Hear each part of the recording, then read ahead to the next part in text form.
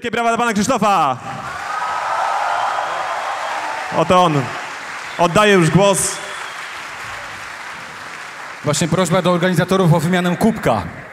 No właśnie, ja dostałem taki z kawką, żeby elektryka w mózgu lepiej pracowała, żeby coś powiedzieć. Panie Krzysztofie, może coś tytułem wstępu. A co by pan chciał usłyszeć? E, Tego człowieka akurat przedstawiać chyba nikomu nie trzeba. Krzysztof Hołowczyc. E, Kurczę, ile dobrej energii tu krąży. Jak fajnie. a spodziewał się pan? Mówię, że dużo do, do dobrej energii krąży, tak czuję. A Jurek Owsiak mu, musiał długo pana namawiać do tego, żeby przyjechał? Nie, nie, nie, nie. Jurkowi nie odmawiam po prostu. Taką, taką zasadę przyjąłem od wielu, wielu lat i miałem okazję w różnych sytuacjach, kiedy Jurek pracował, gdzieś tam wspierać jak można było. Także to dla mnie zaszczyt, że tu jestem. Dziękuję.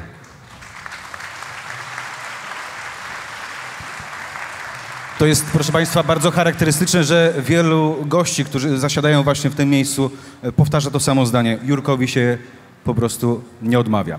Zatem możemy przejść do rozmowy. Bandzior. Bandzior. Z czym się Panu kojarzy to słowo? Bandzior? No, Bandzior? No, cholera. No nie wiem, z bandziorem. No bandzior to bije w, w ryło, wali. Co jeszcze? A z marką samochodu? A, no tak, to już wchodzimy w, w filmy piękne i, i szybką jazdę, dobrze? Nie? Do, naprawdę Pan nie wie, że Bandzior to taka pieszczotliwa nazwa Fiata 125P. W życiu. Jeździłem Fiatem 125P i w życiu bym go bandzior nie nazwał. Że to był grzeczny, milusiński samochodzik. E, to było niestety z perspektywy mojej rajdowej kariery nie, nie chciałbym nikogo obrazić. Urządzenie samochodopodobne. Wszystko było z ołowiu, wszystko się urywało, pękało. Ten samochód y, no, nie dawał szans na bardzo szybką jazdę, ale dawał szansę w ogóle na jeżdżenie w rajdach. Także rzeczywiście ja od tego urządzenia zacząłem swoją karierę. To był pierwszy ale samochód. bandzior? No w życiu. No słuchajcie, no wyprowadźcie mnie z błędu. Bandzior to Fiat 125P, tak nazywane pieszczotliwie. Prawda czy nie? Ale to to jacyś młodzi ludzie to wymyślili, którzy tego samochodu na oczy nie widzieli. Ja jeździłem jednym z pierwszych samochodów w ogóle, bo tata, pamiętam, kupił i z taką dumą przyjechał kiedyś. Jeszcze miał klamki wystające, dźwigiem zmiany biegów przy kierownicy i e, po wypadku, bo miał tata wypadek, dostaliśmy nadwozie Bahama Yellow. Nie wiem, czy wiecie, co to był za kolor. Taki żółty Bahama Yellow. To było coś fantastycznego. Jechałem tym samochodem obok taty i czułem się w zasadzie już wtedy kierowcą rajdowym, mimo że miałem 6, 7, 8 lat. Już nie pamiętam, jakie to były czasy, ale, ale rzeczywiście wtedy duży Fiat robił ogromne wrażenie na mnie i na tych, którzy patrzyli na niego. W tym kolorze, gdzie wszystko było szare, białe. E, Nie było to wtedy kolorowych samochodów. To był taki pierwszy motoryzacyjny prezent i jednocześnie pierwszy rajd. No, rajd był trochę później. Ja zacząłem, 84 jak rok. 90% kierowców, czy wyścigowych, czy rajdowych od gokardów, od kartingu. Największa szkoła dla mnie i muszę przyznać, do tej pory uważam, że wszyscy, którzy zaczynają swoją przygodę z motorsportem, powinni zacząć od gokardów. To jest naprawdę największa szkoła, e, rywalizacja, samozaparcie. Gdy moi koledzy siedzieli z dziewczynami na plaży, ja niestety grzebałem w kanałach, ale ssących i wydechowych swojego silnika i tam przerabiałem go, żeby tylko moje urządzenie było odrobinę szybsze. A to też było, robiliśmy to z, silni, z silników, o też sławnych, nie wiem, to też jest jakaś ksywka na WSK. Taka 125 WSK. Orzeszek się na głowę zakłada teraz, to już kultowo wygląda, jak ktoś taką WSK sobie pomiata po, po mieście, ale wtedy właśnie takie silniki mieliśmy w naszych gokardach, także też się wszystko urywało, zacierało, ciągle była wojna. Wspomniał Pan o tacie, to wydaje mi się człowiek z poczuciem humoru. O, tata mój to no, do tej pory mój największy przyjaciel i człowiek, któremu bardzo wiele zawdzięczam. Myślę, że po pierwsze mnie stworzył, co, co pewien czas mu tam wypomnę, że tato, no 1,96 m, no nie mogłeś zdyszkę mniej, no bardzo cię proszę, zobacz jak ja wyglądam w motorsporcie, jak osioł, z, tym, z tą głową zawsze wystawioną, czy z gokarda, czy gdzieś tam z samochodu skulony, tak siedzę, żeby o dach nie tłuc kaskiem. Ale, ale rzeczywiście tata y, rozkochał mnie w samochodach. Inżynier, konstruktor, e, gdzieś tam losy oczywiście go później w różne inne e, sfery działalności posłały, ale, ale człowiek, który podświadomie rozkochał mnie w, w samochodach. No, ja jako mały dzieciak już jeszcze prawie nie mówiłem, ale gaźnik, prądnica, A pierwsze słowo jakie było? Mama, tata czy gaźnik? Nie wiem, nie wiem, nie pamiętam, ale rzeczywiście tata się śmiał, bo zobaczcie, teraz już nie ma gaźnika, teraz jest wtrysk, teraz jest alternator, a ja pamiętałem te rzeczy. Odpaliłem e, kiedyś właśnie wujka motocykl i próbowałem odjeżdżać, no ale niestety szybko się przewrócił, trochę bolało, ale to był pierwszy mój moment, kiedy porwałem urządzenie mechaniczne. Ja wspomniałem o tym ym, poczuciu humoru taty, gdyż albowiem na drugie dali Wiesław. Tak, ha, tak. Ja myślę, że tak, bo się zawsze zastanawiałem, tato, czemu Wiesław? Czy to ten czas, że wtedy Gomułka był? Mówię tak, żeście dali mi, żebym mieszkanie dostać, czy coś w tym stylu. Ale ojciec mówi, że tak wiesz, mamie się podobało. No, no co ja zrobię? No jestem Krzysztof Wiesław, no, Wiesio. Krzysztof Wiesław. Yy, Z Olsztyna, z Olsztyna, także zawsze jak przyjeżdżam do Warszawy mówię, jestem z prowincji. Są to Olsztyniacy, tak? Są, okej, miło. Panie Krzysztofie, pan testował w zasadzie wszystkie polskie samochody. W I nie tylko, i nie tylko polskie. Tak, tak, skupmy się na razie na tych polskich, w tym także Poloneza. E, tak. I e, Polonez ma takie miano, że to swego czasu był e, najbezpieczniejszy samochód w Polsce, ale pan testował taki model, no, przez który można było s- stracić. Wiem, co wam chcę usłyszeć. No, słuchajcie, bo gdzieś tam ja, ja po takich swoich różnych e, perypetiach rajdowych, no i wreszcie Monsterek przyszedł. Po swoich perypetiach rajdowych, dzięki. Monster. Tak, tak, jestem, jestem z monsterowcami. Znaczy, ja nie mam z tego nic, Jadę na było. Dakar, ale, ale o czym mówiliśmy? Ten Polonez. Znowu polonezy, kurna, 1500 uciekajmy z tych turbo. czasów. Słuchaj, te, o, o, że oni jeszcze nie żyli wtedy, kiedy te polone, ja te polonezy ujeżdżałem. Słuchajcie, polonez był mm, urządzeniem, które całkiem nieźle jeździło, ale kiedy dostałem się jako kierowca fabryczny do FSO Sport, dostaliśmy poloneza turbo. 1500 turbo. No i taki był kierowca rajdowy Jasiu Szerla, który mówi, Krzysztof, pamiętaj o jednej najważniejszej zasadzie. Jeździsz zawsze z nogami złączonymi. A więc nie rozumiem, jak z nogami złączonymi? Przecież muszę po tych pedałach zasuwać, jakieś przegazówki robić, bo takie turbo, słuchajcie, to miało straszną turbo dziurę, czyli trzeba było przegazówki robić, ale nie zrozumiałem. Mechanicy się naśmiewają, wszyscy się śmieją. A mówię, o co chodzi w tym e, jeżdżeniu z nogami ściśniętymi? No, w takim polonezie czasami był, my to nazywaliśmy żelazny deszcz. Czyli jak ci turbo eksploduje, żeby ci jaj nie urwało. Pamiętaj o tym.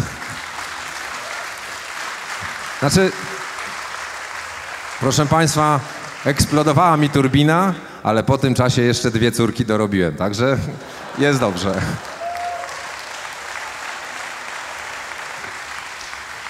Panie Krzysztofie, można powiedzieć, że pańskie, no nie wiem czy największe, ale na pewno marzenie się spełniło, bo pan chciał jeździć karetką, znaczy jako kierowca, ale z, chyba tak mi się wydaje, że częściej jako pacjent. Nie? Znaczy bez przesady, no, co tam parę kostek złamanych to tam naprawdę szczegóły. Słuchajcie, to jest ciekawe, że w zasadzie na, w samochodzie tylko raz się połamałem, co prawda poważnie, bo to kręgosłup chrupnął, dwa kręgi się zmiażdżyły, ale rzeczywiście większość złamań moich, jakieś żeberka, nóżki, rączki to motocykle, bo bardzo kocham motory i, i tak jak mówiłem wcześniej, wypominając ojcu, że jestem za duży do motorów, niestety też, ale lubię krosówki, lubię się wygłupiać, poskakać trochę.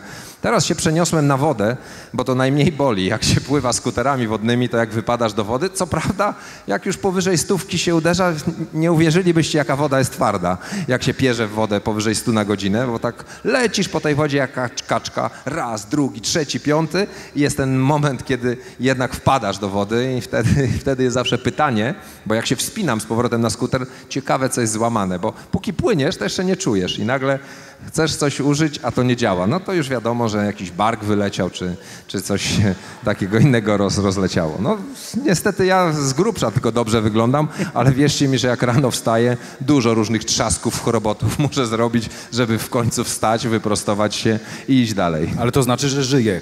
Nie, Coś- no to cały coś- czas. No, w moim wieku to już naprawdę, jak nie chrobocze, to znaczy, że naprawdę jestem w innym świecie.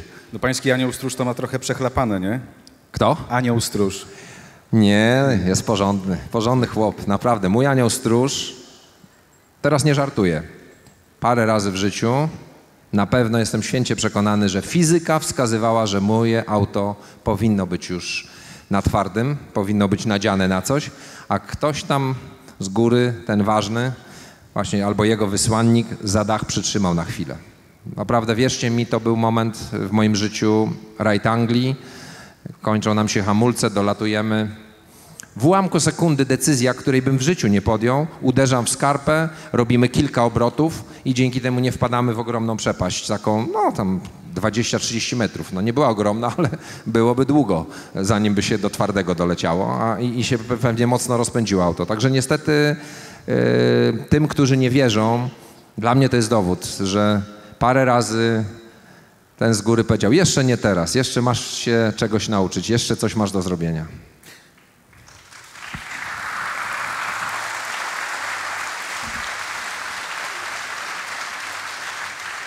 W Olsztynie, e, o którym pan wspominał, bardzo bliskiej miejscowości pańskiemu sercu, e, jest szpital i w tym szpitalu nadali panu pseudonim. No tak, ale co to kurwa grzebiemy w moim ciele? Rzeczywiście parę razy, no tak, ja strasznie nie lubię wszelkiego rodzaju utrudnień, czyli gipsów i tak dalej, no i bardzo szybko je zdejmuję, no zazwyczaj na drugi dzień, na trzeci, bo nie wierzę w to, że to pomaga. No co prawda później znowu muszą zakładać i to tak jest czasem proces jakiś, e, ale, ale no naprawdę dobrze robiłem. Już teraz wiem, że to była, bo zobaczcie jaka jest teraz technologia. Teraz żużlowiec łamie e, obojczyk czy łamie rękę i za tydzień startuje. Już można spawać kości, różne śrubki, blaszki, druty bardzo pomagają, także bardzo szybko można być no, z powrotem w akcji, ale kiedyś to trzeba zreperować. I zawsze sobie mówię, jak tak kiedyś naprawdę dobrze przyłożę, że tak będzie z miesiąc, dwa luzu, że nie trzeba będzie gdzieś pędzić, to wtedy poreperuję różne rzeczy. Ale rzeczywiście kiedy miałem bark, yy, parę razy mi wyleciał, no bo jak się uderza o coś mocno, to wylatuje. To, to po prostu panowie, którzy wkładali ten bark, no znieczulenie trzeba, to, tam, tam, wie, chwileczkę, no może panowie naciągną, a ja go włożę, no bo jestem dosyć odporny na ból. I rzeczywiście, kiedy włożyłem sobie sam ten bark, wstałem i tak ręką, no i dobrze, chłopaki, dziękuję. Panie Krzysztofie, dwa tygodnie, gips, nie wolno się ruszać. Nie mówię, rajd mam za tydzień, panowie, ja muszę lecieć, dziękuję. I wygrałem ten rajd za tydzień.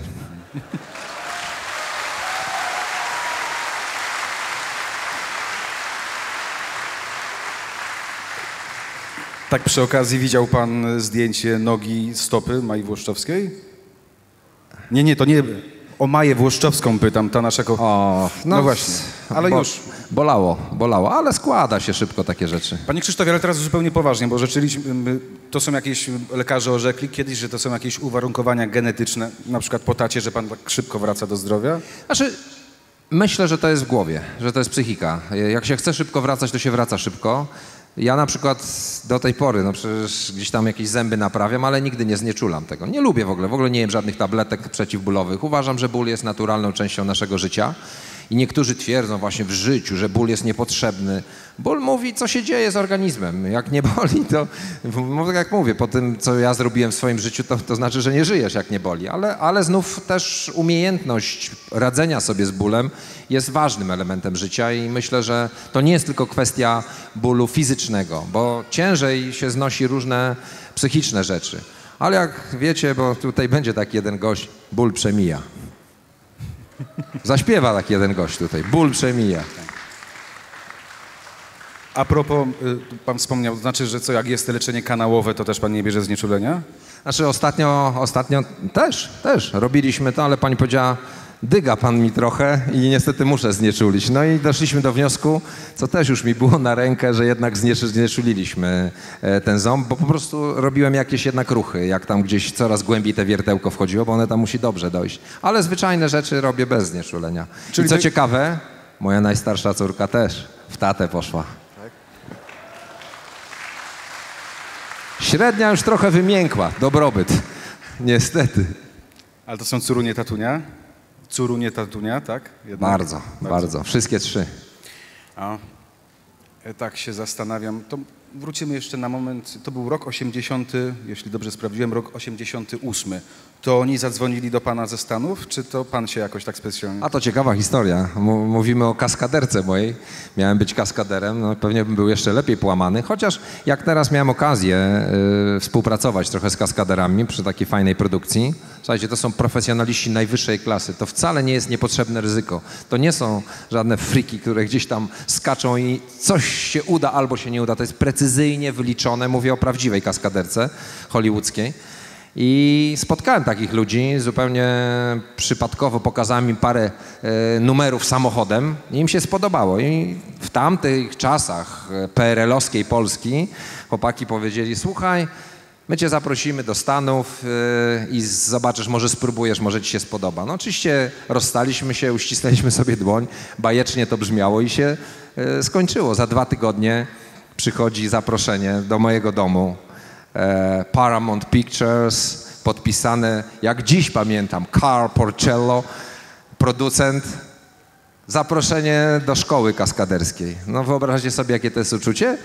Zasuwam do ambasady amerykańskiej, wbijają mi wizę do paszportu i wtedy dostaję magiczny telefon, który zatrzymał mnie w Polsce. Pewnie dobrze, tak miało być. Dzwoni pan Jacek Bartoś, szef e, FSO Sport. Nie, nie zapomnę tego głosu. Panie Krzysztofie, czy chciałby być pan kierowcą fabrycznym FSO Sport? Słuchajcie, w tamtych czasach to było tak, jakby się Pana Boga za nogi złapało. Ja nie zapomnę tych chwil, jak skakałem, jak latałem prawie po ścianach, biegałem wtedy w domu, ale spokojnie powiedziałem, Panie Jacku, oczywiście odpowiem, niech Pan mi się da zastanowić. A już krzyczałem cały w środku, tak, tak, wchodzę, wszystko oddam, chcę mu Pana jeździć. No i rzeczywiście odczekałem 5 minut, dalej biegając po ścianach tak naokoło, jak w takiej beczce. I zadzwoniłem, oddzwoniłem. Panie Jacku, wszystko wygląda na to, że możemy razem jeździć. Także słuchajcie, byłem szczęśliwcem ogromnym, że mogę, że mogę się dostać do fabryki. No i tak, i, i- i byłem jednym chyba z niewielu Polaków, który w tamtych czasach, mając wizę amerykańską e, w paszporcie, nie pojechał Do do, fabryki pracy, snów. do fabryki snów, do Hollywood. No właśnie, ale tak miało być. Może bym stracił swoją kobietę, no nigdy nie wiadomo, jak to jest. E, Tak sobie pomyślałem, pan często mówił o wzroście. Ja ze swoim, to bym się do F1 na, nadawał, nie?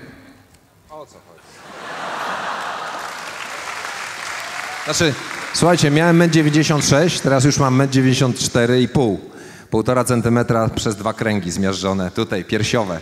Także no, z, z, zaczynam wracać do normalności z tym wzrostem, ale przez dwa lata bardzo bolało i też trzeba było z tym żyć. I taki jest los sportów motorowych. No, wielu z nas jest naprawdę mocno połamanych i czasami jak widzicie, że ktoś się krzywi na twarzy, to niekoniecznie, że nie lubi wszystkich koło, tylko że gdzieś go tam bardzo boli. No. No, ale siedział pan w bolidzie.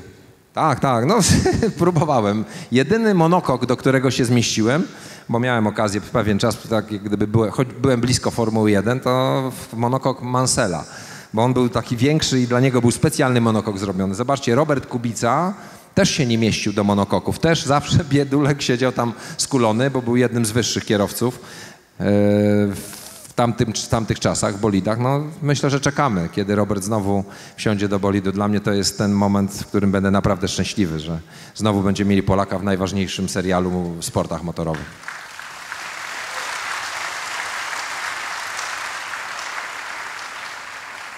Nie wiem, czy pan zauważył, to już kolejny temat naszej rozmowy, nie wiem, czy pan zauważył, bo pan ma do czynienia z bardzo drogimi samochodami. Yy, Myślę, że większość z nas ma do czynienia z nimi na drogach, z bardzo drogimi. Nie wiem, czy pan zauważył, że większość z nich ma defekt i to bardzo poważny. Otóż nie działają kierunkowskazy. Tak.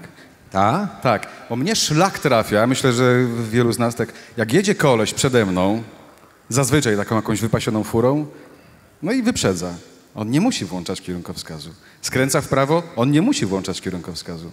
No ale to później drogo jest, bo jak mu się tańszą furą w drogą furę wjeżdża, to zaczyna inaczej mówić, cienkim głosem wtedy, prawda? To wystarczy tak, oj, przepraszam, i z OC się płaci, obcierka. No oczywiście nikogo nie namawiam do takich rzeczy, absolutnie. W życiu, nie, nie, zawsze trzeba być bardzo korekt na drodze, eleganckim, grzecznym, ustępować drogi, ale czasem się omsknie i co? No tak.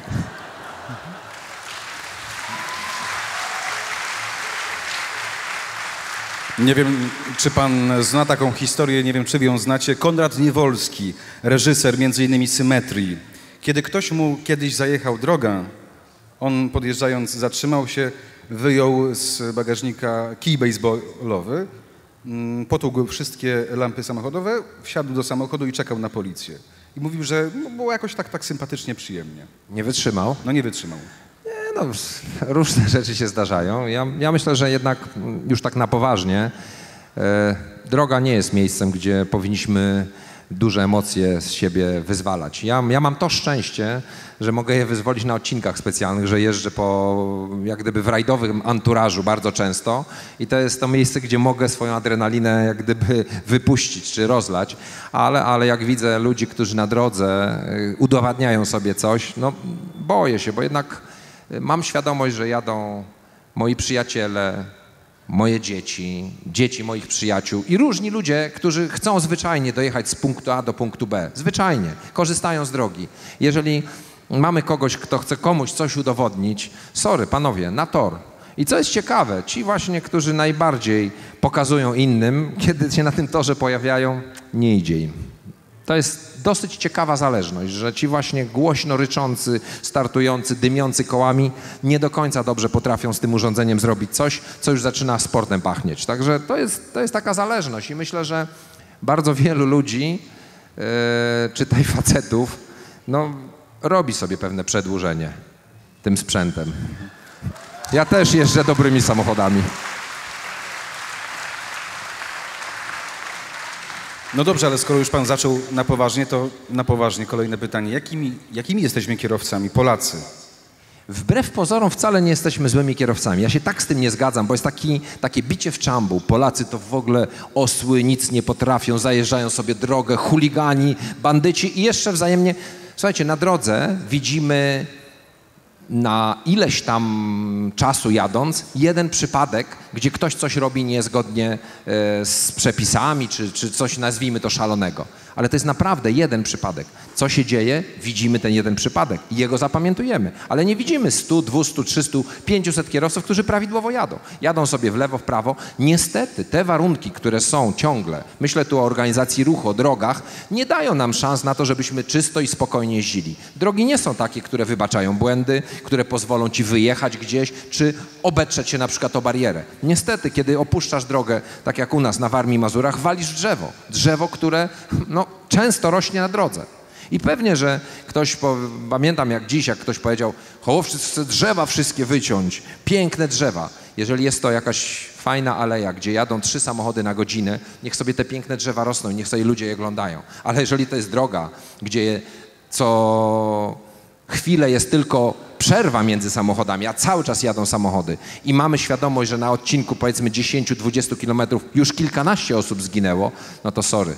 Takie drzewa trzeba wyciąć i zrobić szerszą drogę, lepszą, mądrzejszą drogę. Bo co byśmy nie mówili, będziemy korzystali z samochodów przez jeszcze niestety wiele lat. Nie ma tak, że możemy teraz powiedzieć, nie ma ich, są nam niepotrzebne, damy radę bez nich żyć. No to jeszcze w ogóle szybko Ekolodzy jeżdżą. zaraz się oburzą. Skaczą, robią duże, fajne rzeczy te samochody, także to nie zabierajmy ich nam, prawda? Jasne.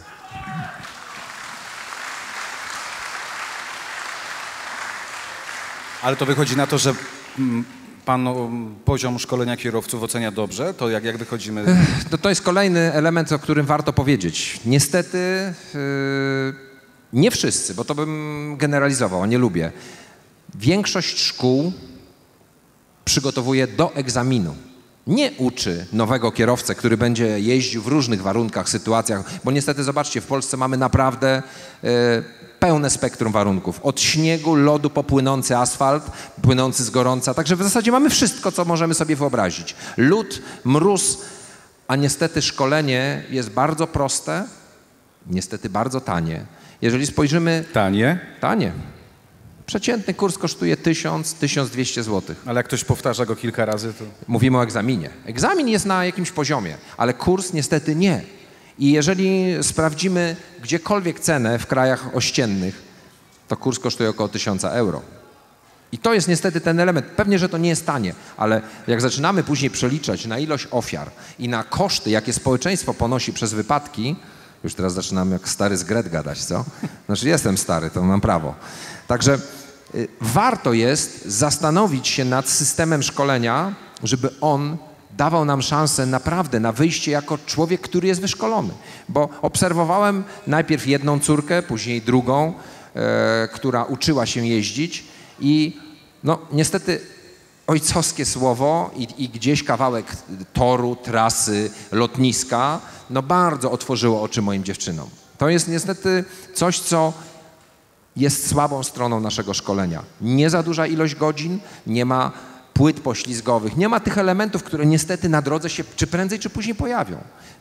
Większość ludzi w ogóle nie ma ergonomicznej pozycji, bo się nie uczy prostych rzeczy. Trzeba zacząć od tego abecadła. Najpierw jest A, B, C i to te wszystkie literki nie są dla wszystkich osiągalne. Musimy mieć tego świadomość, ale poczucie, że kogoś wyszkoliłem dobrze, musi być u takiego pana instruktora, a nie Benzynki nie za dużo popłynęło, bo pan na placyku mi tam pomielił trochę wsteczny. Już cofaj, patrz na ten słupek, później na ten i już jesteś w garażyku. I egzaminik zdamy. I jeździmy po trasie, bo może cię puścić pan egzaminator tą trasą, tą lub tą. No to te ćwiczymy trasy.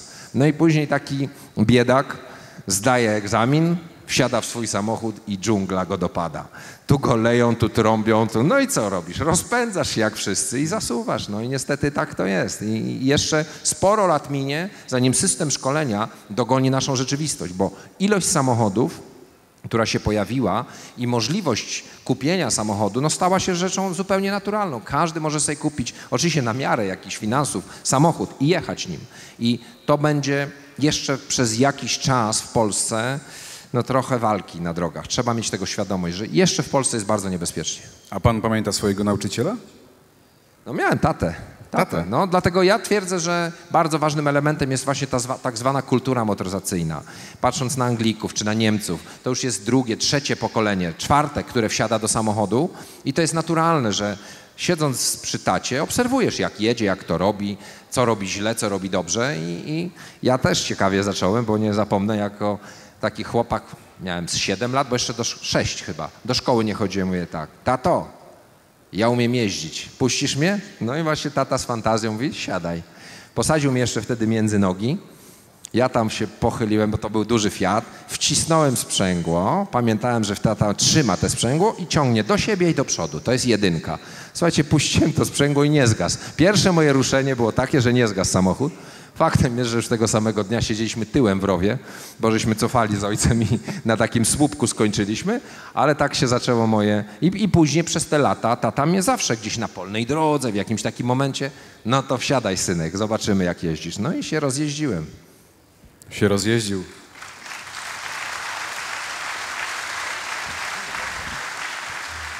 Słucham? Tak bokiem siedzimy do ludzi, jakoś tak nieelegancko, nie? Ale to chodzi o tych panów, którzy tam siedzą na podestach. A, bo to później okay. będzie w A, internecie no owsiak.net. Telewizja, rozumiem, telewizja. A która sytuacja, bo to o czym pan wspomniał, to na pewno była stresująca, pewnie nie dla pana, bardziej dla taty sytuacja. A pytam teraz y, o tę z pańskiej kariery. Która sytuacja na drodze była bardziej stresująca? Ta z kozą, czy ta ze starszym panem, który wracał z zakupów? Ale widzę, ale gość jest przygotowany, naprawdę. Tu macie poważnego gościa, naprawdę. Gratuluję. Proszę o klaski dla pana. Tak, rzeczywiście, rzeczywiście taka historia była i e, obydwie dykteryjki są bardzo fajne. Jedna mniej, bo to już czasy takie dla mnie nowożytne. Subaru, piękne słońce. Mogłoby zaświecić, prawda? W ogóle tak a propos. Piękne słońce, jadę sobie w Olsztynie, dojeżdżam do przejścia, piękne y, dziewczyny, dziewczyny idą i tak sobie idą, przechodzą przed moją maską, uśmiechają się, no to już w ogóle szczęście, w ogóle pięknie jest. Ale poznały pana, czy? A nie wiem, nie wiem, uśmiechają się, jest miło. I tylko mój niestety y, radar cały czas krąży i widzę w lustereczku i jedzie coś z prędkością, która nie daje szans na zatrzymanie tego pojazdu. Taka czerwona mała fiestka. I tylko naciskam sygnał, dziewczyny przerażone podskakują do góry, a pan tak prawie się po nich oślizgując, mm, przejeżdża dalej. No, mija ta sielanka, bo rzeczywiście robi się nerwowo, bo nagle masz świadomość, że jesteś frajerem, puszczałeś dziewczyny na przejściu, a pan nie puszczał. Pan jechał dalej. No, tak się złożyło, że zaraz do następnego skrzyżowania dojechałem. e, było czerwone światło. Zaraz zatrzymałem się za panem, dobiegam, uchyla pan szybę, siedzi w kapeluszu. No to już jest jakiś znak, ale, ale przepraszam, to jeszcze nie koniec historii. I tak mówię, proszę pana, czy, czy pan ma świadomość, co się przed chwilą wydarzyło? Czy, czy pan czuł, że, było tak blisko nieszczęścia? A ten pan tak na mnie spojrzał. Młody człowieku, ja wojnę przeżyłem.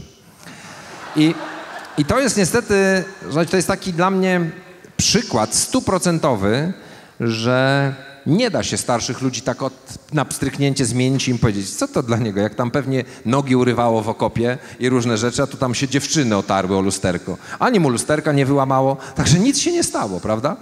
I, I, to była taka rzeczywiście dla mnie historia, w której bardzo się teraz mocno zastanawiam, bo wiele wypadków niestety było takich, że ktoś był grzeczny, zatrzymywał się, a drugi pan czy pani wyprzedzała na przejściu dla pieszych. Jedno z głównych przewinień takich i bardzo niebezpiecznych.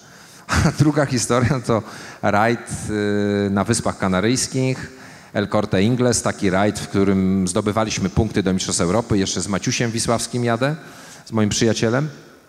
I wychodzimy, oczywiście no, szybka partia, do góry, trochę taka górska droga, lewy dno, do prawy trzy, Maciek dyktuje i w pewnym momencie wychodzę za zakrętu, taka nie za duża prędkość, bo to był nawrót i się rozpędzam i stoi koza na drodze i tak się trochę waham, czy z lewej, czy z prawej. Słuchajcie, wylatuje gość, skacze na tą kozę i z nią takim padem, jak komandos, wpada do rowu. A Wiślak na to, jak on musiał kochać tą kozę. Słuchajcie, zrobił to przed samą maską.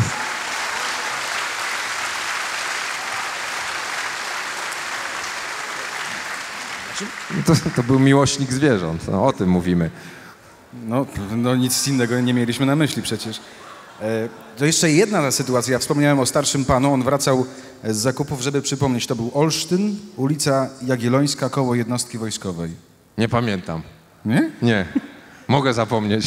Jasne. To, mm, rekord prędkości, ale nie na zawodach. Na, na gdzie? Na drodze? Aha. Na zwyczajnej drodze idę, teraz mam samochód, który chodzi 3,30. Trójkę z przodu widać, jeszcze później następną trójkę, już ciężko tą drugą, tak 2,24, 2,25, 2,28, znaczy 3, przepraszam. Jak już jest 3,30, to już się cieszę, bo to jest jak gdyby koniec tego samochodu. Na niemieckiej autostradzie, bo wolno. Nie w Polsce, w życiu. Kamery są. U nas tylko 140 można. A mm, jak wygląda mm, kontrola drogowa? Dzień dobry, panie Krzysztofie. Nie w życiu. Nie? Co pan mi tu jedzie? Gdzie chamie się pchasz? Tak było też. Ale to był pan... Stróż prawa? Milicjant. Pan milicjant nie takie rzeczy potrafił powiedzieć. Miał często chuch, czapkę na bakier i mówi, co mnie tu... Y, tu już musiał takie pip zrobić, nie? Co mnie tu jedzie? No takie były niestety czasy. Później się zdecydowanie poprawiło, a teraz nawet pan potrafi się przedstawić, zasalutować, powiedzieć jaki ma stopień i, i jakie się wykroczenie zrobiło. No u mnie zazwyczaj jest jedno, suszenie. No i tak czasem pouczają i to miłe jest, no naprawdę. Nawet częściej niż czasem. A jeśli chodzi o punkty karne, tam się nic nie zmienia. Moje kolego, ta cyferka, o ta. Znaczy ja też się mogę pochwalić. O, lubię to. Od tego zaczynam w ogóle. Panowie, zero punktów, a panowie mi pierwsi dowalą. No i zazwyczaj jest pouczenie. Lubię to. Nawet nie wyobraź sobie, jak bardzo to lubię. A zdarza się tak czasami, że, no bo nie wszyscy muszą być obeznani, choć pańska twarz jest znana i to bardzo, ale na przykład jeden, daj spokój, przecież to chłopczyc. Nie, lepszy numer, słuchajcie, teraz przebiję wszystkie opowieści na temat zatrzymania. Wyjeżdżam z Warszawy, no niestety tak mi w stronę Olsztyna, bo tak często podróżuję, firmy mam w Warszawie. I dojeżdżam do Łomianek, pan grzecznie wychodzi, strzał, trafiony, zatopiony, hamuje, zdążę, bo mam dobre hamulce, więc staję obok pana. A pan tak patrzy, tak przymierza, widzę, dobrze jest, chyba poznaje. I w tym momencie, ale gość twardo, dokumenty, dowód, prawo jazdy, wszystkie, ten, cały ten anturaż się odbywa. I nagle tak dosyć szybko hamuje samochód i wylatują e, takie dzieciaki z samochodu. Panie Krzysztofie, panie Krzysztofie, autograf. No mówię, nie, no to już full, wszystko się udało. Ja podpisuję te autografy, a on tak, tym razem pana puszczam, poznałem pana, jest pan gwiazdą disco polo. Że byłem na chwilę w świecie pana policjanta.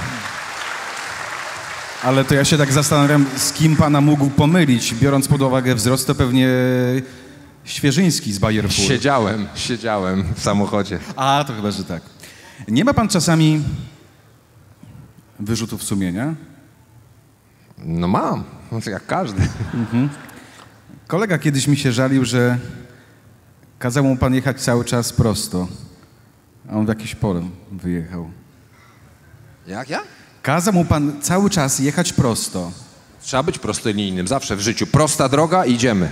No, Obieramy cel i do przodu. Ale pan mu powiedział 10 kilometrów prosto. A, to. Czuję tą energię, wiem o co chodzi. To jest tak.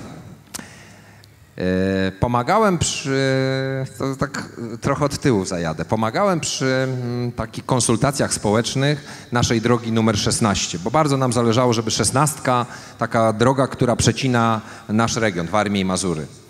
I tak jestem w takiej wioseczce, siedzę sobie na takim spotkaniu i tak od tego w życiu nie będzie tu drogi, nie damy, po naszym trupie. No tak mija pół godziny, godzina, już niektórzy mówią, ty, te sklepy to by była dobra rzecz, może rzeczywiście byśmy tą drogę zrobili. I tak widzę coraz bardziej tych ludzi, zaczynam przechylać, bo yy, dla tych, którzy robią drogi, próbowałem przekonać tych ludzi. No i tak już coraz jest bliżej, coraz lepiej, atmosfera jest coraz lżejsza i w pewnym momencie taki starszy pan wstaje, a ja mogę coś powiedzieć, panie Hołowczyc? Ja mówię, oczywiście, pan kłamie. No i wszystko powalone, cała atmosfera padła. W zasadzie nie ma o czym mówić dalej. A ja mówię, ale czy, czy może pan powiedzieć, co jest w tej mojej... Nie, nie, to nie o to chodzi. Bo pan mówi tak, szukam sygnału GPS, jak znajdę, to ci powiem. I nie mówi pan. Jak jest. Także to jest pewnie do tego opowieść, tak? Że czasami słyszę, jak mi tam miękkie posyłają, gdzie ja dojechałem, to w ogóle nie ta droga, Hołek, ty Łosiu, gdzie mnie prowadzisz? Ale pan też pewnie często korzysta z nawigacji. To było chyba by przegięcie, gdyby w nawigacji był pański głos. Nie, dlaczego? Uważam, że to był, to był fajny moment. Dostałem parę złotych za to. O co chodzi? Do tej pory dostaję. No ale jest Marzena jeszcze. Jest? Marzena jest. Znaczy, ja tam zawsze, jak miałem jeszcze nawigację nie fabryczną, nie taką samochodową, to miałem przecież naszą automapę i ja sobie zawsze dziewczynę przyłączałem, ale moje córki czy żona twardo słuchają frajera, no bo można komuś pojechać, nie? Gdzie mnie frajerze prowadzisz? No i tak wsiadam do samochodu, odpalam nawigację, a tu Hołek do mnie mówi, nie jest to łatwe słuchać tego gościa, jeszcze jak źle prowadzi. A wie pan, że ma pan konkurenta właśnie w automapie? Tak? Nie wiem, czy to oficjalne, ale Czesio z Władców Much. Cześć, oddaję ognia? Nie, ja to byłem grzeczny chłopczyk, tak mówiłem ładnie, z dykcją się starałem, żeby nie sycało, żeby tam nie feflenić, no tak, żeby to wszystko ładnie było, no bo to, no, ładnie musi być, prawda, żebyśmy ładnie żyli. Kiedy pan mówi na przykład za 300 metrów ostro w prawo, to Czesio mówi za 300 metrów zajebiaszczo w prawo. Też dobrze. Też dobrze. Chyba, bym, chyba bym spróbował, jak się idzie na takiej nawigacji do przodu, ale na OS-ie. E, wspomniał pan o Wiślaku, to będzie chyba trudne pytanie mm, dla pana. Z kim się panu, jeśli chodzi o pilota, z kim się panu lepiej jeździło, jeździ? Z Wiślakiem czy z Jean-Markiem? Wszystkim? Jean-Marc. No nie, to, to, to każdy człowiek ma swoje plusy i minusy i tak jak e, Maciek jest tak ciepłym, tak dobrym człowiekiem, tak mądrym, e, choć jak e, często mówię Wiślak, ty jesteś dowodem na istnienie Boga, bo to jest naprawdę gość, który ma tyle szczęścia w życiu, tyle razy wychodzi z różnych opresji, których nie powinien wychodzić, e, że rzeczywiście to jest coś fantastycznego, jak, jak, jak on łatwo żyje, jak on pięknie żyje. Naprawdę Maciek jest bardzo mądrym człowiekiem, po prostu szuka w ludziach dobra. E, I Jean-Marc jest w zasadzie jego kompletną odwrotnością. To jest taki diabeł, taki gość, który wszędzie szuka zaczepki, wszędzie, ale jest fantastycznym pilotem. I na Dakarze jego instynkt, jego wyczucie, w którą stronę jechać, jest no dla mnie ja nie wiem, czy właśnie on tam nie ma kontaktu z tymi z dołu, no. bo zawsze jedziemy tam, gdzie powinniśmy, ale no, szczęścia brakuje. No. Czasami brakuje szczęścia I, i, i myślę, że to są dwa tak różne charaktery, dwa tak różni ludzie, że nie można ich porównywać. Yy, Jednego bardzo cenię i mogę powiedzieć, że kocham i drugiego też. No, spędziłem z nimi wiele, wiele lat i, i to były naprawdę wspaniałe chwile. Teraz w Polsce jeszcze jeżdżę z jednym pilotem, z Łukaszem Kurzeją, młody, gniewny, Wyobraźcie sobie, jak idę naprawdę tłusto, prowadzimy w rajdzie, wygrywamy OSN. No, dziadziuś, trochę się rozpędziłeś, no. tak mi potrafi powiedzieć młody orzeł, no. Ale to musi być, mm, ta współpraca często przekłada się na życie prywatne, że jak tu jest świetny pilot, to jest świetny kompan e, do zabawy, do... Ja mam taką chorobę, że lubię, żeby była jednak atmosfera w zespole. Że nie, pewnie, że kontakt profesjonalny jest bardzo ważny i tak jak no, sfera mechaników, inżynierów, to są naprawdę profesjonaliści na poziomie zespołu fabrycznego, jak jestem w tej chwili w zespole Mini, w zespole BMW, to rzeczywiście to jest kontakt w pełni profesjonalny. Ale jeżeli nie ma atmosfery, jest bardzo ciężko osiągać sukces. Atmosfera jest naprawdę elementem jednym z ważniejszych. Także dla mnie najlepiej, jak mój pilot jest moim przyjacielem i staram się zaprzyjaźnić, staram się szukać różnych punktów plusowych, no bo na Dakarze, słuchajcie, jak siedzisz dwa tygodnie z jednym gościem, obok siedzisz i często on śmierdzi, czy ty śmierdzisz, bo nie da się na Dakarze tego uniknąć, to no, różne myśli przychodzą i chciałbyś tam czasem kopnąć. Nie da się, bo to tunel wysoki, ale, ale rzeczywiście My przed Dakarem, słysząc różne historie, trudne historie, przysięgliśmy sobie z Jean-Markiem, co by się nie działo, nikt nie wysiada z samochodu, bo na przykład nie będę wymieniał nazwisk, bo to bardzo znane nazwiska, ale kiedy na wydmach pilot z kierowcą tak się pokłócili, że pilot wysiadł i powiedział, idę w swoją stronę, to po dwóch godzinach pół rajdu go szukało, no bo na pustyni zostać bez wody, to nie jest łatwa rzecz. Do tej pory się wszyscy naśmiewają, później chłopaki chyba sobie pleksy wsadzili między sobą i tylko bo połącz, połączeni jesteśmy interkomem, żeby kierowca nie sięgał pilota i odwrotnie. To jeśli tak. macie taką zasadę, że jedziecie, nie wychodzicie, to jak rozumiem, no, to trochę zahacza jednak o fizjologię, no ale to tak jak kolarz musi o, akurat, no jest... jest kolarz to ma łatwo, bo wali w gacie tak. i wszystko idzie na zewnątrz, a ty siedzisz w fotelu. I co, w fotel walicie? No, niektórzy walą. Ja próbowałem parę razy, nie daję rady, no, nie jestem w stanie. Nie, moja psychika mi nie pozwala. I tylko wtedy zaczynam tak szybko jechać, że łapię kapcia i, i Jean-Marc krzyczy ty chamie, specjalnie złapałeś kapcia, żeby się, no właśnie, wysiusiać. To się wysiusiać. Ja, on zmienia koło, bo to jest jego zadanie, on zaczyna. Ja mam tylko obsługę podnośnika hydraulicznego ze środka i jest mi po prostu łatwiej, ale ja tylko podnoszę i wybiegam. Trzeba szybko sikać, naprawdę. Trzeba wie się nauczyć. Wie pan, aż, aż się boję, że podejrzewam, tu też są przedstawiciele mediów, że jutro na przykład albo jakiś superak, albo fakt napiszą, że dobry pilot, pilot to taki, który wali fotel. Jak, jak się nie nauczył pić, bo to też jest wielka sztuka. Słuchajcie, to jest niewiarygodne, że możesz wytrzymać, wypijając 5-7 litrów wody, w ogóle nie idziesz do toalety przez cały dzień. Bo wy się pocicie. Tak, wszystko wychodzi, ale musisz wiedzieć, w którym momencie zacząć. Na przykład taka kawka, jak tu dostałem, nie ma szans, nie ma szans, trzeba zasuwać. Także niedługo was opuszczę. Ale no, mam swój wiek, mam prawo. Naprawdę. I... ale kartonowy, ekologiczny, w życiu. Ale to jest tektura. A tak te, zepsuć tekturę, tu jeszcze będą ważni goście, także nie możemy. Znaczy powiem tak, bo już y, dzisiaj nie przewidujemy gości, dopiero jutro kapitan Wrona będzie siedział na tym bądź na tym, także... Ale wylądował, to o co chodzi, już nie musi w fotel grzmocić. Jasne. Y, pan cały czas mówi o kawce, a co, Monster nie smakuje? Proszę bardzo. Oficjalnie.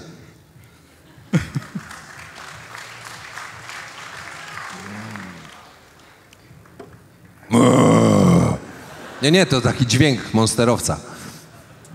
E, dżentelmeni o pieniądzach nie rozmawiają, więc y, nie będziemy rozmawiać o różnych kwotach e, i tak dalej. Nie, nie, nie, mnie to nie, zupełnie nie interesuje.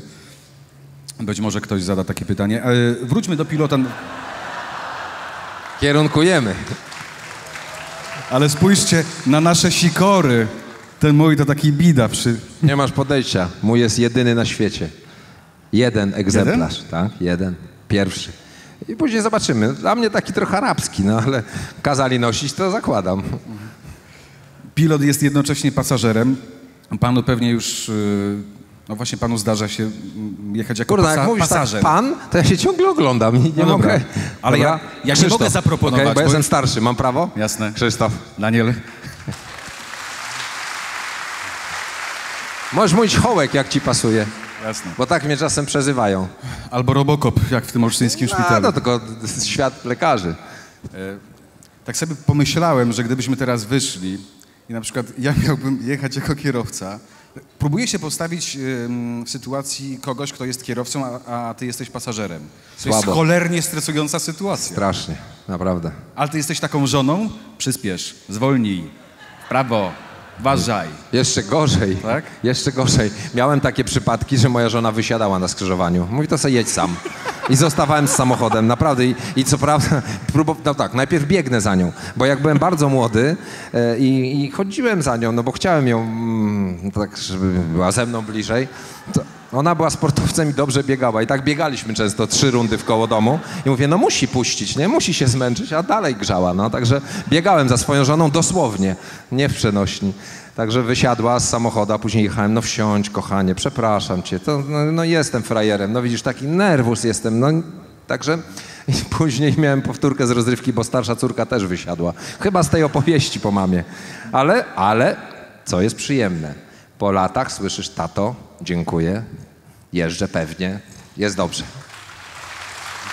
I to warto usłyszeć. Ale tu, jak rozumiem, przyjechałeś sam. No sam. Ale na Daję górę? Radę. Nie, nie. Na górę przyjechałem Monster Truckiem. To jest taka maszyna, że nawet jakby się kierowca pomylił, to masz prawo przeżyć. Masz szansę przeżyć, bo jest dużo e, masy, jest wysoko, ale tak naprawdę jechaliśmy bardzo powolutku, bardzo grzecznie, Ale nie stresował się, nie? Cały spocony. Znaczy, nie, nie, to my, się, my już nie pierwszy raz jeździmy, to mamy taki system, że wsiadam, czy to jest Michał, czy Roger, to ktoś prowadzi maszynę i lecimy. I Jestem wtedy grzecznie pasażerem. No, w samolocie też muszę siedzieć tam w którymś rzędzie. Jeszcze jak siedzisz blisko, no to się czujesz biznes class, nie, no to w ogóle wiesz Ameryka, ale jak siedzisz tam gdzieś z daleka, bliżej ogona, to taki skulony, kiedy to wreszcie wyląduje. Nie przepadam za Ale lataniem. co to jest za biznes klas, jak, jak w fotel nie można walić, nie? No, gdzie można? W samolocie? Ja nie waliłem nigdy, to nie mam takich doświadczeń. Nie, tak zupełnie poważnie. Co ty będziesz robił, jak zakończysz karierę? Bo to jeszcze parę, paręnaście lat przed tobą. O, dobrze powiedziane, dobrze. Słuchajcie, wkurza mnie to strasznie. Nie będę wymieniał znowu nazwisk, ale jak słyszę, jak na przykład sprawozdawca ostatnio siatkówki mówi, no, któryś z amerykańskich, już nie pamiętam który, yy, siatkarzy, no, te lata świetności ma już za sobą. A gość jest w takim szczycie, tak cudownie to robi, jest po prostu liderem swojego zespołu i gra. U nas jak gdyby przypina się łatkę, masz już swoje lata, out, bo lata się skończyły. Co to są lata? Urna. Niech ktoś stanie i się spróbuje ze mną. No, proszę. Mówię o rajdówkach, tylko rajdowe samochody. Na pięść jestem gorszy. Także to jest kwestia motywacji i kwestia tego, co masz w głowie. Bo pewnie, że y, w tej chwili, żeby fizyczność moją zachować na- tym poziomie, który jest wystarczający do wygrywania, już dużo pracy to mnie kosztuje. Teraz do Dakaru przygotowuję się dwa, trzy miesiące ciężkiej fizycznej harówy. Zawsze sobie powtarzam, jak biegnę swoją rundę, bo biegnę tak od 7 do 10 kilometrów e, i tak zawsze sobie mówię, pi, jestem kierowcą rajdowym, a nie cholernym biegaczem, no bo tam takie mocne słowo z przodu, czasem niestety one pada i muszę przyznać, że nie lubię tego robić, ale wiem, że muszę to robić. No to jest taki, taki stan. I, i, ale na koniec, kiedy jedziesz na Dakarze, jest siódmy, dziesiąty, dwunasty dzień, a ty masz formę, to wiesz, że tą pracę wykonałeś. Także warto jest utrzymywać sprawność fizyczną, nawet jak się jest starszym panem, bo to daje czystą głowę, radość, chęć do walki, do rywalizacji. Po prostu w zdrowym ciele zdrowy duch. Tak. Ale na tym ostatnim Dakarze było dobrze. Nie trafił cię szlak Kurna, było momencie? bardzo dobrze. Wiesz, że nawet miałem odrobinkę zapasu. Takie poczucie, że mógłbym przyspieszyć. Jak Byłeś wygraliśmy... pierwszym w historii po Polakiem. Tak, jak wygraliśmy OS, to nawet się zmartwiłem. Mówię, cholera, to błąd, że kiedy pokazujemy im swoją siłę. I tak jechałem cały czas dwie minuty za liderem, cały czas czekając na mój moment. No i się pojawił. Pękła rurka i sześć godzin stałem w rowie. I czekałem.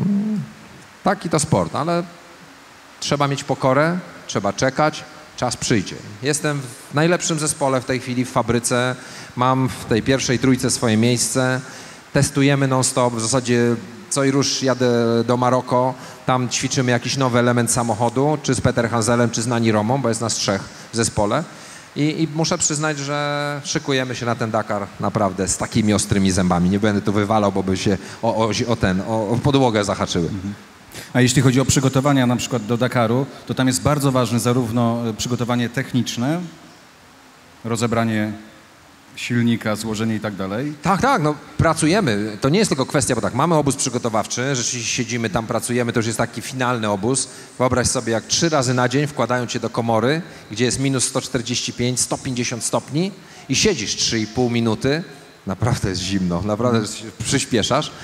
E, już nie mówiąc o tym, że wchodzimy z 1000 metrów na 2,5 tysiąca metrów, gdzie no różne rzeczy, ale to jest jeden z etapów przygotowania. Tak samo technicznie rozbieramy ten samochód i te, te wszystkie elementy, które jesteśmy w stanie na pustyni przynajmniej rozebrać, zanim przyjedzie ten samochód, który ci pomoże, to musimy to wszystko, tego wszystkiego się nauczyć. Także prawie tydzień siedzę i rozbieram i składam ten samochód. Ja na szczęście jestem z zamiłowania mechanikiem, także bardzo dobrze się rozumiem z inżynierami. Y, Nawet pewne rzeczy im podpowiadam, co by można zrobić, żeby inaczej, żeby łatwiej się wymontowywało, czy, czy żeby lepiej coś działało. Także ja bardzo lubię te, te, te grzebanie w mechanicznych rzeczach. szyb- no, bardzo. szyb- szybciej się rozbiera czy ubiera? Samochód? Tak. No, to zależy. Od ubranka.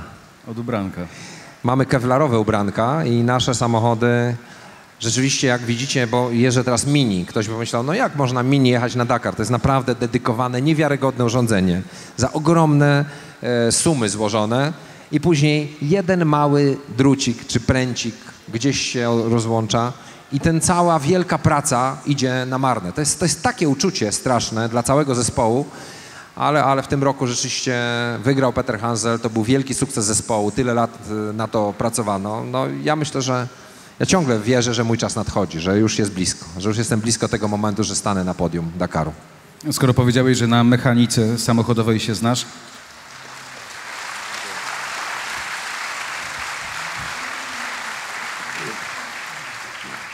pytałem wcześniej trenera Andrzeja Strajlała, z którym się y, witałeś, bo on miał taki jakiś y, przedziwny epizod w życiu, że tam mu wpisali, że był mechanikiem samochodowym kiedyś w 1964 roku. Moja żona też jest mechanikiem samochodowym, bo kończyła liceum samochodowe.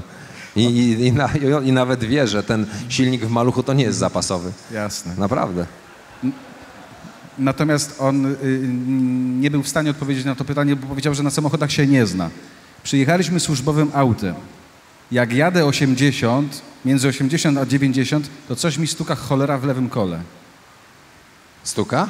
No stuka, no nie wiem, ale... No, mnóstwo rzeczy może być. Stworzeń, amortyzator, tulejka, łożysko już mniej, ale no klocek może być luźny i sobie tam jak naciskasz. No musielibyśmy się przejechać, to ci od razu powiem, co stuka. Ale bać się, czy... Bać się, czy jechać, sprawdzić to? Znaczy, generalnie wbrew pozorom samochody się tak łatwo nie rozpadają. Nawet jak tam stuka, chrobocze, skrzypi, to on jedzie do przodu. Pewnie, że są rzeczy, których nie należy lekceważyć i, i, i, i to jest ciekawe, że na przykład w motorsporcie ja w tej chwili bardziej się boję utraty mocy niż nawet straty hamulca. To jest niesamowite. Parę razy w życiu straciłem hamulec przy dużych prędkościach, dochodząc do nawrotu i byłem święcie przekonany, że to jest scena kończąca, ale wolę to niż utratę mocy. Idziesz w zakręcie złożony, trzymasz, gazem tak naprawdę te parę kilogramów dodajesz wektorem do wewnętrznej i nagle słyszysz jak kicha i nie ma cię, idziesz od razu w twarde. Jak jest. No. To jest, to jest niesamowite, że na tym poziomie e, w sporcie moc jest jednym z najważniejszych elementów, żeby utrzymać w torze, bo kierownica tylko nadaje kierunek, prowadzisz gazem. Prawdziwą rajdówkę gazikiem ją sobie. Tak, tak, to jest piękne. Ale się rozpadało. E, tak sobie pomyślałem, bo mm, zastanawialiśmy się wspólnie, co będziesz robił, jak zakończysz karierę. Małysz, Adam Małysz, jak zakończył, to zaczął jeździć. A ty jak zakończysz, to może zaczniesz skakać. No nie, ja już się naskakałem, ja cały czas podskakuję, no. Żona mi mówi, nie podskakuj. No i, no i nie skaczę. No. Nie, ale tak poważnie, a Jak wrócę do domu, śmieci wynoszę, naprawdę żarówki przykręcam, reperuję coś, bo lubię tam, nawet potrafię szczelkę jakąś zmienić. No to chyba tak już parkety. Ale teraz pytam poważnie, skoczyłbyś? Tak jak Adam Małysz. Ze skoczni? No. W życiu. W życiu. Byłem tam kiedyś na górze, spojrzałem na dół i mówię, no to są chłopcy naprawdę dzielni. Chociaż za zaraz potem zobaczyłem, jak chłopaki skakali z tych skoczni na, na korsówkach. I to już mi się wydawało jakieś bliższe, tak? Na motorze bym chyba no, mógł spróbować przynajmniej. Bo wbrew pozorom to nie lecisz wysoko.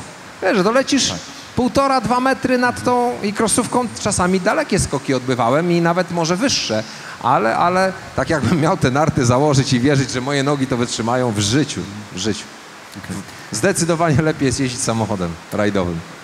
To jeszcze jedno pytanie i ci, którzy będą mieli podobne do, pan, do Krzyśka, no pod warunkiem, że będziecie na Poprawił tak się jak ja, e, to mogą się już ustawiać. E, chodzi o Wiślaka, o którym wspomniałeś. Czy, czy zdradzisz nam, co dostałeś w prezencie na 50. urodziny od Wiślaka? Bo w jednym z wywiadów Maciej Wisławski powiedział tak, że da to, co będzie dobrym talizmanem na rajd Dakar. Mam nadzieję, że dzięki temu wygra te zawody. No mogę zdradzić, pewnie, że tak. Wiślaczek był na mojej pięćdziesiątce. No jakbym mógł nie być? Nie wyobrażam sobie, mimo że musiał wiele rzeczy poodwoływać. Dostałem takie spinki do koszuli. Nie wiem, jak ja będę koszulę zakładał ze spinkami. Czasem noszę. Ale, ale rzeczywiście zabiorę te spinki ze sobą. Specjalnie, ręcznie wykonane, dedykowane takie spinki z logotypem, z kółkami od Mini. Także nie no, piękny prezent. Samo to, że Wiślak był i że strzeliliśmy misia było czymś dla mnie bardzo ważnym. To podobnie jak z tym zegarkiem. Pierwsze i jedyne spinki. A no, Wiślak też otrzymał ode mnie zegarek, bo jakbym mógł nie utrzymać i też tam ma odpowiednią dedykację, ale myślę, że to on może powiedzieć, czy, czy chce to ujawnić. W ogóle to jest temat rzeka, bo Krzysiek jest gadżeciarzem i moglibyśmy na temat gadżetów rozmawiać, rozmawiać. Lubię. Ale ja tu tylko sprzątam. Proszę bardzo. Będzie, będzie dość poważnie. Panie Krzysztofie, na czym Pana zdaniem polega problem Polskiego Związku Motorowego, który w mojej opinii nie robi kompletnie nic w celu promowania i wspierania młodych zawodników, czy ogólnie propagowania sportu motorowego w Polsce, prawda? Mogę dać chociażby najbardziej podstawowe przykłady, tak? Mamy jeden bardzo dobry obiekt, tor Słomczyn, na którym są organizowane zawody rallycrossowe. To jest tor godny... Yy, organizowania Mistrzostw Europy, prawda? Jest jedna runda, e, jedna runda Mistrzostw Polski, która odbywa się tylko w Polsce na tym torze, która w dodatku w tym roku się nie odbyła, bo Polski Związek Motorowy stwierdził, że skoro euro jest skoro euro jest w tym samym czasie, to może możemy tego nie robić i nie będziemy mieli z tym zachodu i nie będzie żadnego problemu. Drugim takim przykładem jest wyścig mistrzów, który ma się odbyć, jak wiadomo, w grudniu, prawda? E, o ile się orientuję i o ile dobrze mi wiadomo, Polski Związek Motorowy robił olbrzymie problemy, żeby w ogóle e, zgodzić się na organizację tego w tym terminie, bo uważali, wyszli z jakiegoś idiotycznego założenia, że wyścig mistrzów w grudniu odbierze kibiców Barburce, w związku z czym wpadnie mniej pieniędzy. Ale moim zdaniem nie można tego nawet nazwać już pazernością na kasę, tylko po prostu no, zwykłą krótkowzrocznością czy wręcz głupotą. Czy Pana zdaniem jest coś, co można by zrobić, żeby zmienić tą obecną sytuację i jakby skutecznie promować sport motorowy w Polsce? No wiesz, y, w pewnym sensie odpowiadałeś trochę na te pytanie, dając przykłady. E, widzisz, ja, ja patrzę z pewnej perspektywy już, bo byłem młodym, gniewnym zawodnikiem, który chciał osiągnąć wszystko, co możliwe i rzeczywiście czułem wtedy, kurczę, jaki to skostniały organ. Nic nie robią, w ogóle tylko problemy. Ktoś musi trzymać przepisy w ręku, prawda? One niestety, według mnie, poprzez FIA potwornie się zmieniają. Co to powoduje? Powoduje to, że dyscyplina nasza jest piekielnie droga. Zobacz, wszystko, czego nie dotkniesz, kosztuje majątek. Zobacz, FIA nam nałożyło kolejne meteczki, które do tej samej balaklawy przypinasz. Inna meteczka i już ta balaklawa możesz, możesz ją startować. No przecież to jest kpina. Identyczny materiał, ta sama balaklawa, ale ma homologację 8.8 albo 2002. Wiesz, o czym mówię? Tak, tak, jak najbardziej. I, No, i, to sam jest, jeżdżę, I to jest założenie, to znaczy choroba idzie zazwyczaj od góry. I ja zawsze mówię tym wszystkim, którzy tak bardzo narzekają na Polski Związek Motorowy. Panowie, wybory, trzeba iść, przejść tą drogę i zacząć tym związkiem zarządzać. To jest normalnie demokratyczny organ, w którym się wybiera ludzi. Tylko tak naprawdę fajnie nam się gada, ale oni spaprali, nic nie potrafią, tylko nikt z nas, przepraszam, bo też tak samo na to spoglądam, nie chce tam iść i nie chce tej pracy wykonać. Niestety jest wielu ludzi, którzy dawno powinni stamtąd odejść, ale na ich miejsce nie ma innych. Nie ma młodych, sprawnych ludzi, którzy coraz, nie, powiem Ci szczerze, coraz więcej pojawia się młodych menedżerów, którzy zaczynają właśnie w menedżerski sposób podchodzić. Zobacz, y, dam parę przykładów. Baja Szczecin. Mówię o mojej dyscyplinie teraz, cross country. Udało nam się zrobić w ciągu trzech lat Puchar Świata. Lobbowałem w różnych sytuacjach. Udało nam się w pewnym momencie zrobić rajd do Mistrzostw Świata. Mówię o Mikołajkach. Nieskromnie powiem, że Rally Cross może mieć wielką imprezę.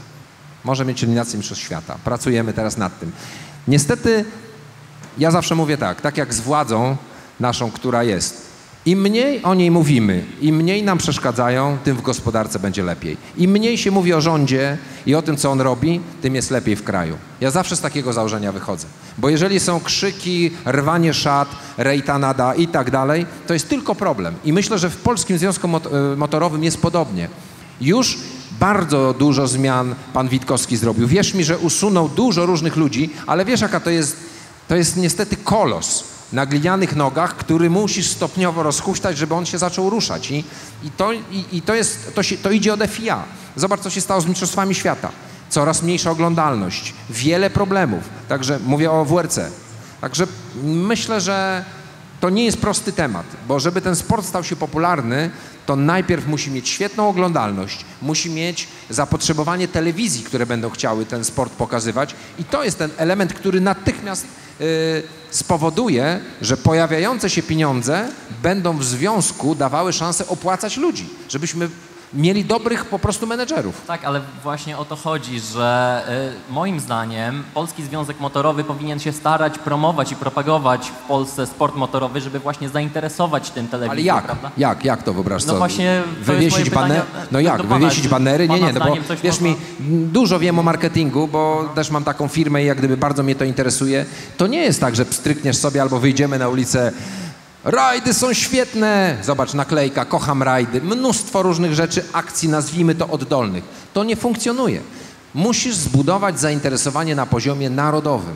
Na poziomie narodowym, tak jak zrobił to Kubica, Adam Małysz. Wtedy idzie, samo idzie. Za czasów Fibaka wszyscy chcieli grać w tenis. To są niestety elementy, które są potrzebne. Kiedy e, walczyliśmy z Maćkiem, był taki krótki moment o Mistrzostwa Europy. Pojawiły się no, duże grupy sponsorskie z dużymi pieniędzmi. Ścigało się wtedy 5, 6, 7 wórców. Pamiętasz, jakie to były czasy? Przecież to były ogromne, ogromne pieniądze. Niestety wszystko zeszło do pewnego poziomu i boję się, że zanim to rozruszamy, dużo czasu minie. Nie ma takich prostych mechanizmów, że sobie pstrykniemy, czy wszyscy powiemy, no dobra, fajne są te rajdy. To jest niszowy sport. Jest nas kilkadziesiąt tysięcy ludzi, którzy rzeczywiście są bardzo sprawni, zwarci. Zobacz, przyjeżdżasz na rajd i mówisz, kurczę, 20 tysięcy ludzi przyjechało. No przecież to jest ważny sport, ważne wydarzenie sportowe. Ale żeby telewizje to pokazały, to musi być dużo bardziej strawne, musi być świetnie przygotowane, musi być więcej takich właśnie e, obiektów jak Słomczyn, czy nawet w Mikołajkach ten tor, w którym można zgromadzić ludzi, pokazać to telewizyjnie, zrobić transmisję live. To wszystko powoduje, że przyciągasz ludzi. No i trzeba mieć, wiesz, e, ludzi gwiazdy, no. Dobrze, że Adaś się pojawił No ale w e, tym w Dakarze. wszystkim i tak y, przeszkadzają nam przepisy, prawda? Dochodzi do takich paranoi, jak no, oczywiście jest pan świadomy, że samochód rajdowy musi, mieć, musi być zarejestrowany i mieć dopuszczenie do ruchu drogowego. Dokładnie, dokładnie. A y, w, samochody przygotowane do rajdów nie mają możliwości w żaden normalny sposób przejścia badania technicznego. Masz rację, bo oczywiście. Nawet jeśli... ja, ja, ja buduję w tej chwili nowiutkie Subaru R4 na Polski i to sam, ten sam mamy problem. Rozumiesz? Musimy, musimy badanie zrobić w Niemczech albo w Finlandii. No ale to się Jest po prostu to, musi jest to zmienić, pewna tak. paranoja. Oczywiście jest mnóstwo takich elementów, małych szczególików, które trzeba poprawiać, poprawiać, ale to jest praca, którą trzeba wykonać i ktoś ją musi zrobić. Zapraszam cię, idź do PZ Moto, zrób tam porządek. No ja wolę Ja będę na ciebie głosował.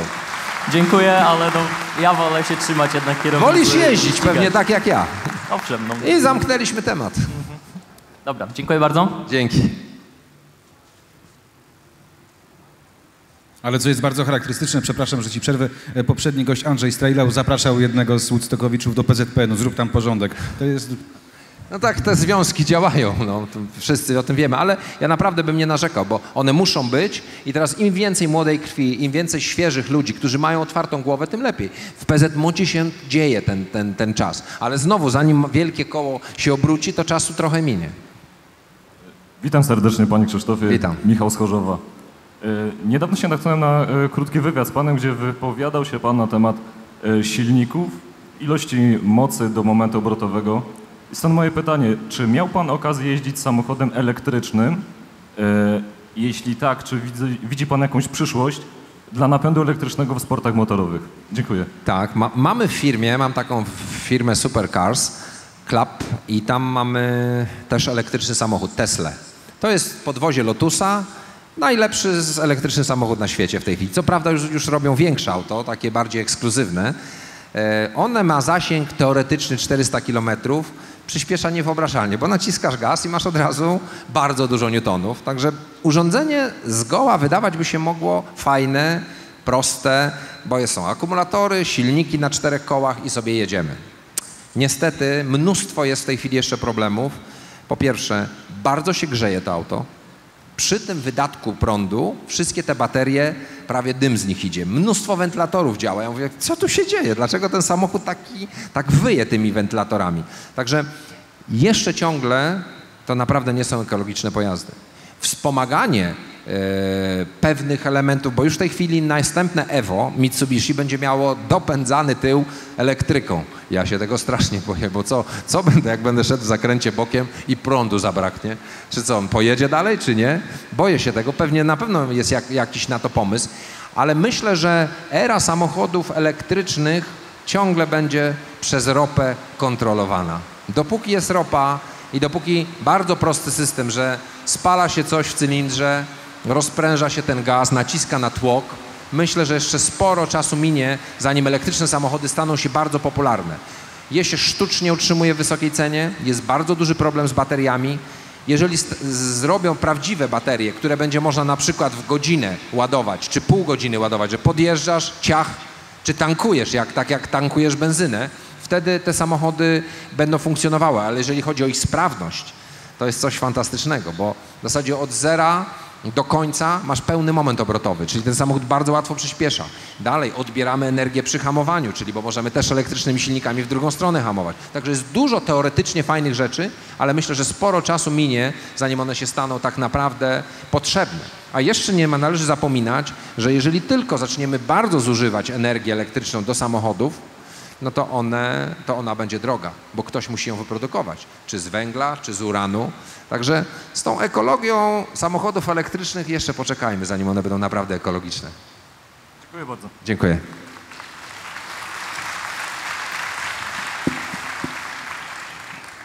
Dzień dobry, Piotrek.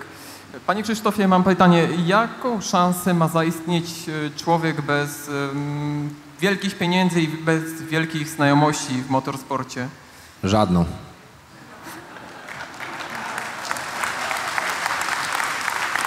Nie mam więcej pytań. Sorry, nie ma co dłużej mówić na ten temat. Tak jest motorsport. Nie ma klubów, nie ma, wiesz, pięknych e, takich. Ja też, jak byłem młodym człowiekiem, mówię tak, kurczę, przyjdzie ktoś do mnie, zapukaj. Hołek, dobry jesteś, biorę cię. Damy ci samochód, damy ci opony. Wiesz, proste rzeczy. Jak tego nie... E, mi chodzi jeszcze, jeszcze pytanie. Gdzie można zapukać w takim razie? To jest jak szczęścia trochę będzie. Znaczy, to straszne jest, co powiem, ale y, ścigają się w tej chwili w większości y, sportach motorowych prezesi i synowie prezesów. Musimy mieć tego świadomość. Bardzo niewiele jest takich sytuacji, w których e, młody człowiek przychodzi z zewnątrz i przechodzi tą drogę. Jeszcze nie ma takiego systemu. To jest bardzo drogi sport, to jest sport, któremu komuś powierzasz miliony. Miliony do ręki dajesz. Słuchaj, jak jadę w Dakarze, jadę pierwszy odcinek specjalny mam świadomość, ile to wszystko kosztowało, to czuję na plecach naprawdę niezły plecaczek, który mnie dociska, żeby trzymać ten samochód na drodze. A Wyobraź sobie, że ktoś mówi tak, ty jesteś świetny, wchodzisz, a ty nagle przewracasz się na bok na pierwszym odcinku. I, i, I pewnie, że powinien być taki system, że daje to szansę młodym ludziom, ale musisz przejść tą drogę właśnie kartingową, stopniowo dorastasz, nagle poznajesz, że ten sport nie jest taki prosty, że trzeba w wielu momentach być misiem, małpą, różne rzeczy robić, żeby na koniec w tą rajdówkę usiąść, Nie przekręcić kluczyk, nacisnąć guzik, bo w dobrym sprzęcie się guzik naciska i ruszyć. I wtedy jest pięknie, naprawdę, ale to jest długa droga. Dziękuję. Dzięki. E, Witam Panie Krzysztofie, Michał z Krakowa. E, Jest Pan osobą, którą się inspiruje, dlatego chciałbym zadać Panu pytanie. E, Jest Pan na starcie, jest odliczanie 3, 2, 1, rusza Pan, robi Pan wszystko automatycznie, to jest już podświadomość. Jest Pan zawodowcem, nie ma Pan w ogóle wręcz kontaktu ze swoimi kończynami, które prowadzą samochód. Ale czasami coś pójdzie nie tak, ląduje się w robie, ląduje się na drzewie, turla się auto, wiadomo, to jest sport ryzyka. Po y, dużych kraksach, których Pan miał, na pewno Pan miał, ponieważ jest Pan zawodowcem, musiał Pan jakoś dotrzeć do tego poziomu. Co Pan czuł w pierwszej kolejności? Czy złość na to, że nie wyszło, że traci się czas, że traci się ten odcinek, czy w pierwszej kolejności szczęście, że jeszcze żyje? Znaczy, na, najbardziej zdziwienie. Dlaczego? Co mogłem zrobić źle? Później, jeżeli mogę wyjść z samochodu o własnych siłach, analizuję bardzo precyzyjnie, jak mam czas, no bo czekam. Ktoś to musi zabrać, ten gruz, często dobrze zmielony. E, ale rzeczywiście to, co powiedziałeś, że pojawia się złość na samego siebie, jest to bardzo częste uczucie. Bo masz świadomość, to co wcześniej powiedziałem, ogromnego przedsięwzięcia. Pracy, tak jak w tej chwili, budujemy samochód, śrubka po śrubce, mechanicy każdą śrubkę pieszczą, oglądają, smarują specjalnym klejem, skręcają dany element złożony, dany element złożony. Później się tę całą układankę i ty na koniec wsiadasz i pracę kilkudziesięciu często osób, ta praca jest w twoich rękach. Po pierwsze, ogromna presja. E, Po drugie, jeżeli tylko poczujesz tą presję, nie macie. Jesteś słaby. Po prostu będziesz z tyłu. Jest, jest to, co powiedziałeś, piękne, obłędne uczucie. Jak ta ręka, kiedyś ręka, teraz już światełka, ale jeszcze w Dakarze właśnie ta dłoń. 5, 4, 3, 2, 1. Do tego czasu różne lęki, ściskanie w brzuchu, ale ten moment, kiedy to pofrunie i przekładasz 2, 3, 4, 5, 6 i lecisz. Nie ma piękniejszego uczucia. Naprawdę to jest coś, czego nie można zakłócić, a wypadek jest właśnie tym momentem, który nagle ten cudowny lot zakłóca. Jest to tak ogromne zdziwienie. Jak to? Dlaczego? Jak mogłem to tak spaprać? Dlaczego to się tak stało? Często są to sytuacje, na które nie masz wpływu, no bo wchodzisz w błoto i, i choćbyś nie wiem kim był, no nie wyprowadzisz tego samochodu. Pewnie, że ja mając tyle doświadczeń, tyle razy będąc poza drogą, potrafię często doratować auto. Czasem wylatuję z drogi i, i, i pan mnie pyta, panie, przecież już pan był poza drogą, jeszcze pan gaz trzymał. Ja mówię, tak, bo jeżeli tu zrobię rykoszet 20 metrów dalej, to już nie idę w twarde w drzewa, tylko idę w plener i tam sobie mogę spokojnie dachować i, i żyję, no. Tak, No- panie Krzysztofie, ale pan cały czas mówi o odpowiedzialności, o, o odpowiedzialności materialnej. Natomiast mi chodzi o swego rodzaju strach. Nie, nie własny, że- materialnej. Nie, nie, O, o w ogóle o, o, stracie wyniku, o stracie celu, o stracie tej pracy, tych wszystkich ludzi. Widzisz, tych mechaników, się, rozumiem, inżynierów. Natomiast mi chodzi o świętej pamięci e, Bublewicz, Krzysztof Kubic, e, Robert Kubica, przepraszam. To są ludzie, którzy w pewnym momencie przekroczyli pewien próg i doznali uszczerbku na zdrowiu. Czy pan, e, czy właśnie pan jako profesjonalny kierowca rajdowy wie, gdzie jest to wyczucie, jak daleko można dopuścić ten strach o samego siebie? Czy pan w ogóle to odczuwa, czy to już jest po prostu automat? Pewnie, że tak. No, strach, to co powiedziałem, strach jest przed.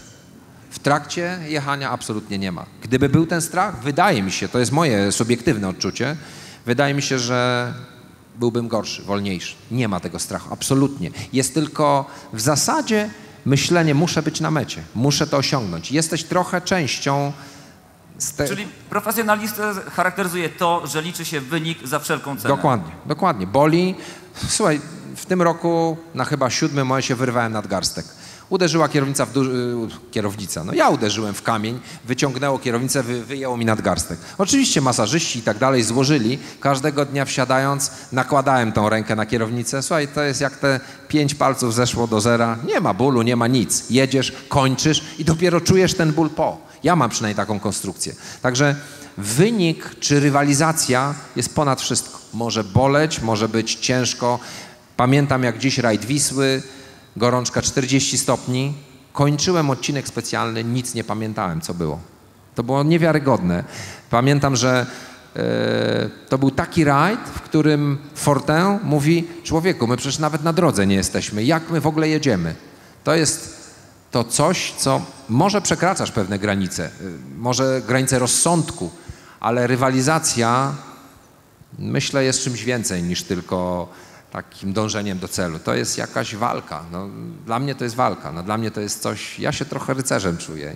Jak już ruszyłeś, trzeba przyłbicę spuścić. Może jestem zakuty łeb, no.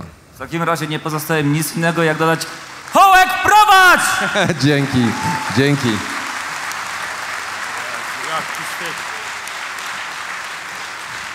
Siema Hołek. No, światłem po oczach, widzisz, No, dostałeś Siema Hołek, zawsze chciałem to powiedzieć. Cześć. Siema Hołek. Słuchaj, e, tak jak opowiadałeś o tych tematach fizjologicznych, że wiesz, ty łapiesz specjalnie kapczo, żebyś mógł tam e, Nie, no nie, nie specjalnie, on żebyś niechcący mógł, przychodzi. Żebyś mógł tam wylecieć na szybkie siku, a ten twój pilot tam zmienia w pocie czoła gorąco, a powiedz mi, co z dwójeczką?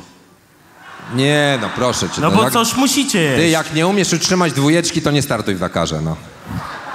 Ale w sumie na Dakarze to wszystko jedno wielka kuweta, tak? Nie, żelki, żelki zasrane, które musisz wciskać w czasie odcinka specjalnego, żeby nie stracić energii. Musisz jeść. Mamy specjalne takie pokarmy. Oczywiście wieczorem jest ten moment, kiedy trzeba coś normalnego zjeść, bo jednak żołądek musi pracować. Dwa tygodnie na tym chemicznym e, ustrojstwie nie wytrzymasz. Także Czyli musisz... żaden kebab, nic takiego. Kebab Nie, proszę odpada. cię, mamy swojego kucharza, który wie, który składa, który mamy wcześniej badania krwi, kto co potrzebuje, także mamy precyzyjne diety. To jest tak, jesteśmy trochę maszynami. Tak jak karmisz silnik dobrym olejem, tak mnie karmią jakimś tam odpowiednim makaronem z czymś. Nie wiem nawet, co to jest. Dziękuję bardzo. Dzięki. Dzień dobry, Hołek. Cześć. Problem z PZ Motem jest y, następujący. Startuję w rajdach i na przykład w zeszłym roku nie musieliśmy używać pasów, które mają metkę i w tym, w tym roku już muszę takie pasy mieć. Tak naprawdę nic nie zmieniają. To, że one mają metkę, którą mogę przyszyć z innych pasów, tak naprawdę, nic Nie nie, wolno zmienia. tego robić, nie mów mi o takich Ja, rzeczach. ja wiem, tego ale, nie słyszałem. ale tak naprawdę nic to nie zmienia. I kwestia jest taka, że to jest sztuczne windowanie pieniędzy, wyciąganie ich po prostu z zawodników i tak naprawdę ten PZ Mod, oni sami, jak się rozmawia z powiedzmy niższymi działaczami, mówią, że to jest po prostu betonowa góra. I nic z tym nie da rady zrobić. My po prostu musimy, albo po prostu musimy przestać startować.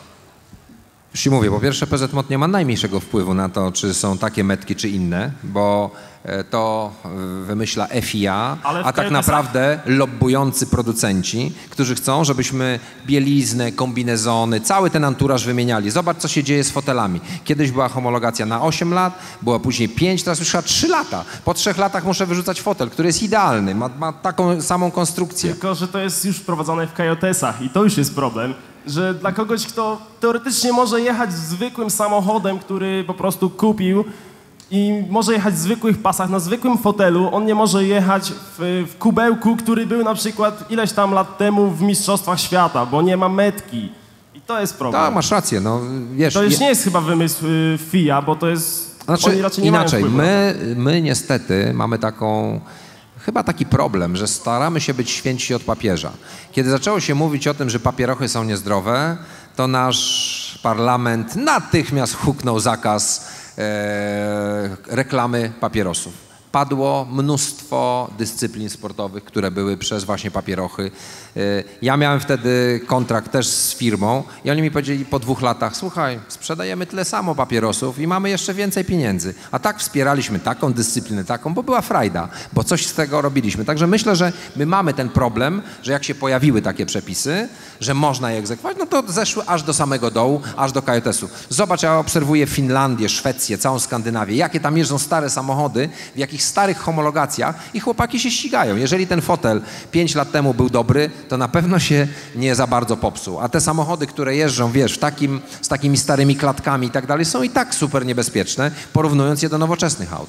I kwestia jest jeszcze taka, y, te stare samochody powinny mieć teoretycznie y, taką samą, w takim samym stanie być jak 30 lat temu. Te części są już często nie do dostania i zbudować starą rajdówkę, którą będzie nawet można w klasie historycznej jeździć, trzeba wydać ogromne pieniądze, mimo że można by dać tańsze zamienniki z bardziej współczesnych samochodów. I to jest po prostu no, walka z wiatrakami, bo wysłać silnik do Abarta, żeby to dobrze zrobili, powiedzmy do, nie wiem, Fiata Mirafiori, to jest po prostu takie pieniądze, że mm, przeciętnego, no pan by pewnie mógł takie coś zrobić. przeciętny, ktoś, kto chce startować, nawet za zabawy, nigdy do tego nie Proszę dojdzie. cię, jak nie umiesz silnika zrobić do Mirafiori? No, No proszę właśnie, cię. był taki cecot niejaki, który po prostu robił co rajd wszystko.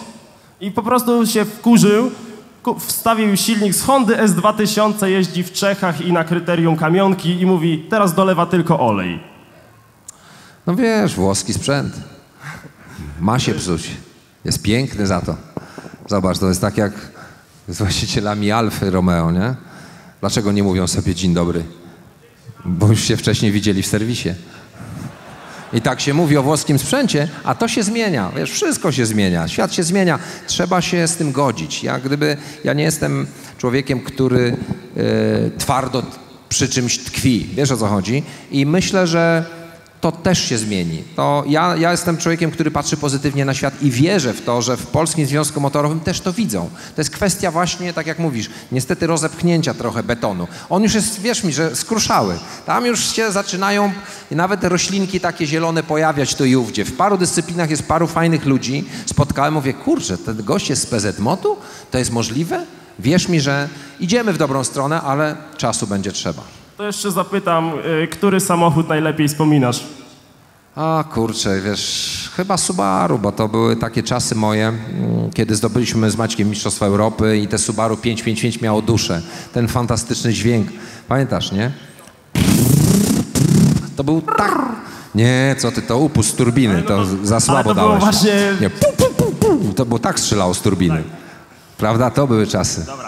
Dzięki wielkie, Dzięki. hołek ognia. Dzięki.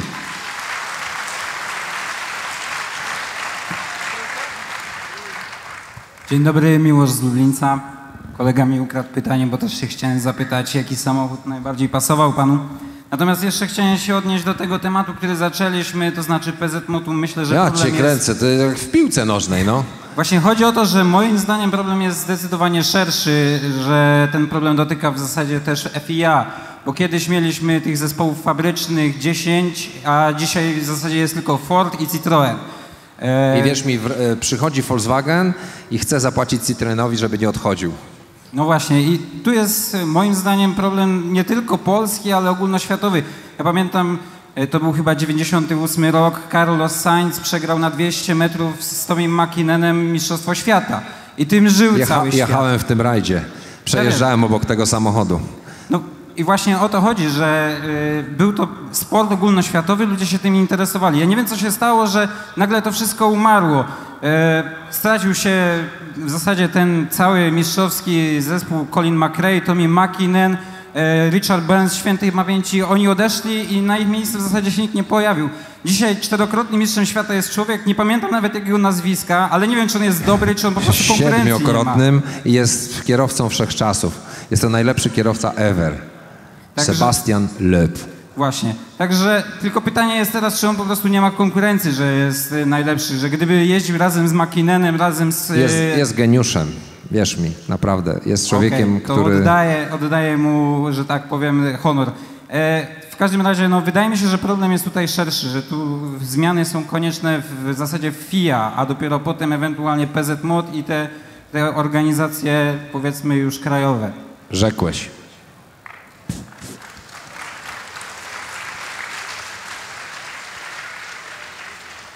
Dzień dobry. Chciałem się Ciebie, Hołek, poradzić jednej rzeczy. Mianowicie, na jakiej nawierzchni byłoby dobrze rozpocząć naukę składania się do zakrętu? Składania się.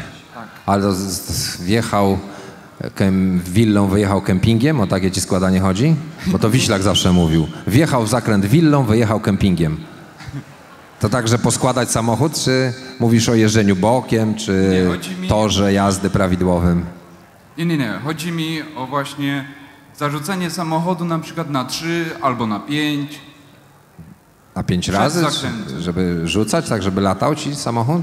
Nie, nie. Kojarzę tutaj... A, o biegu mówisz? Trzecim czy piątym, czy... Nie, nie, zupełnie nie. E, rozpoczynam teraz właśnie rajdy w takich... Tak, ruszasz. Nie, spokojnie, dojdziemy zaraz do sedna, spoko, damy radę. Rozpoczynam teraz jazdy właśnie w typu KJS-ach czy w Tak. Super OS-ach. Chciałbym się nauczyć właśnie wrzucać samochód w zakręt.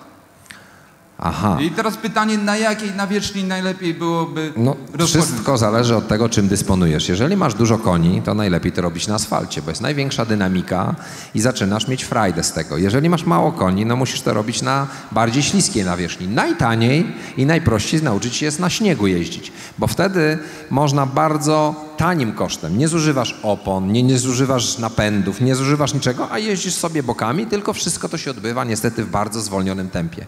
Najlepiej to robić na suchym asfalcie, na sliku, mieć z 500 koni, jest zabawa. No.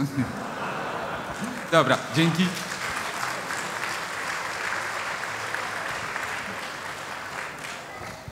Jeszcze jedno pytanie ostatnie. Okej. O, tam jeszcze kupa ludzi chce. No dobra, nieważne. Yy, Maciek z Puław i takie pytanie mam. Kwestia szkolenia była poruszona. Ja jestem instruktorem nauki jazdy, prawda? No jak uczysz kierowcę, czy do zdawania przygotowujesz gościa? Zacznijmy od tego, że instruktor... Dawaj, dawaj, odpowiedz na pytanie. Ja mogę zadać pytanie? Odpowiadam tak jak instruktor, czyli długo i na temat. Yy, w związku z powyższym... Czyli ściemniasz. No odpowiedz. Staram się y, uczyć na kierowcę. Jakie to piękne, staram się, nie? Ja też No, się bo staram. właśnie- właśnie- Jeździć wolno. Tak, tak.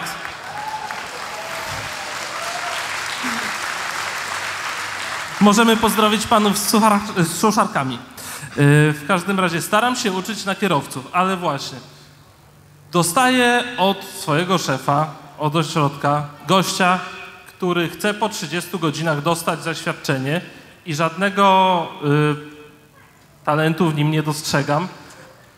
I co ja mam, biedny instruktor, w tym momencie zrobić?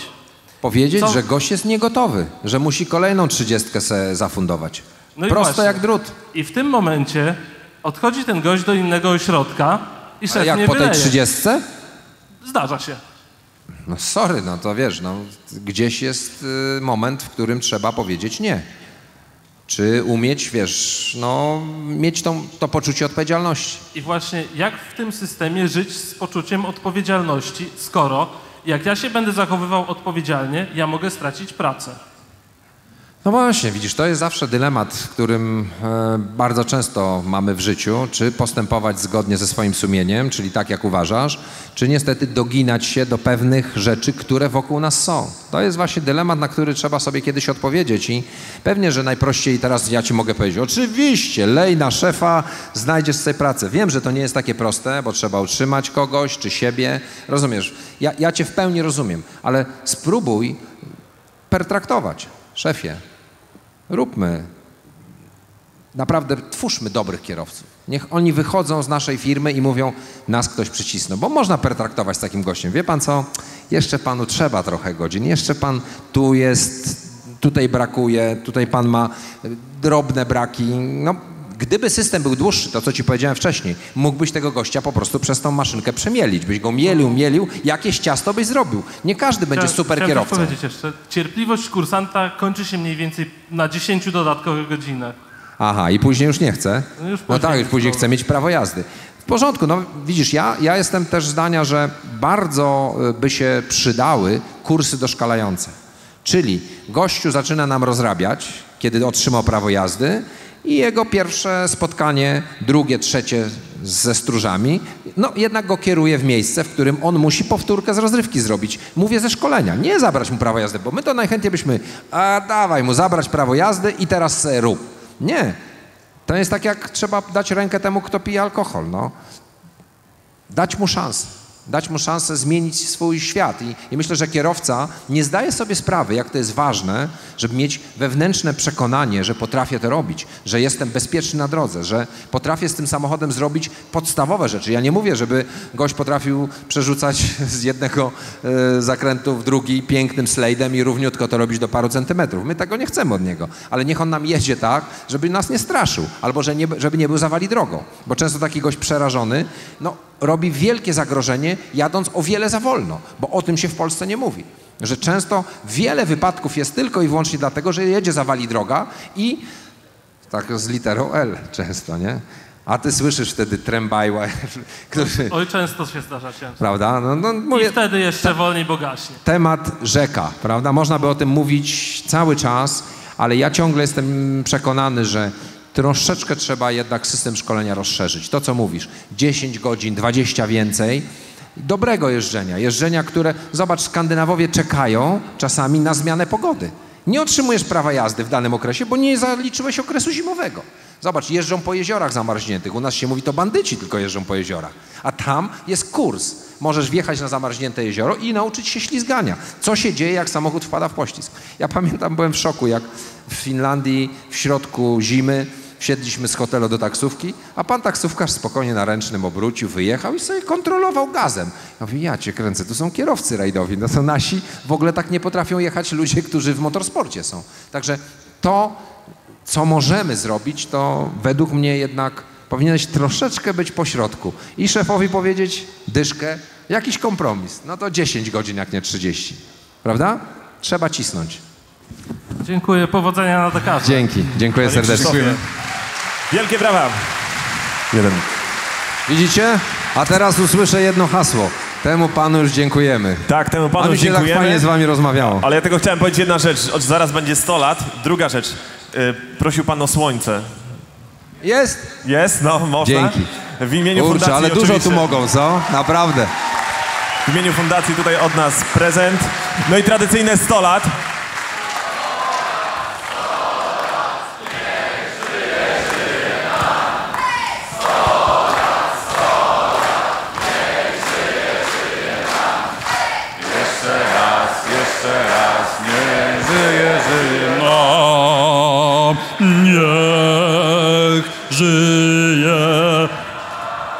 Dajcie brawa, jakich tutaj jeszcze nie było.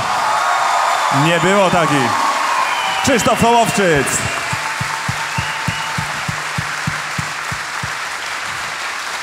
Dziękujemy jeszcze raz. Serdecznie dziękuję.